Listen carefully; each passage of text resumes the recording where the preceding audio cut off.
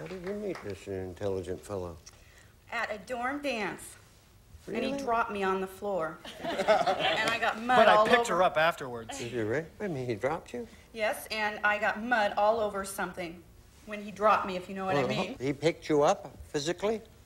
Yeah, we were doing a swing, and then he dropped me, and I landed right on my Derriere. Uh, very nicely put, thank you. Yeah. douche. No, you're. you're uh, uh, tush, tush, Tush, tush!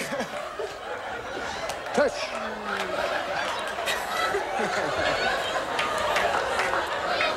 She's a linguist- linguistics major. Yes, uh, yes, I can see that. You get the general idea. Uh, I get more than the general idea, honey. Uh, in fact, you've told me more about that mud dropping incident than I wish to know.